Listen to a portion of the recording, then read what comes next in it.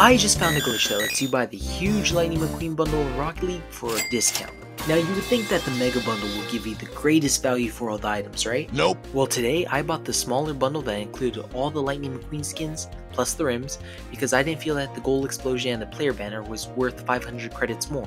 Now after purchasing the small bundle, you can see that the Mega Bundle is offered for only 200 credits more, which gives you a saving of 300 credits or 12% off. Now, I'm not sure if buying the smallest bundle can give you a bigger discount, but either way I doubt that these discounts are intentional, so I would jump on the deal if you're interested.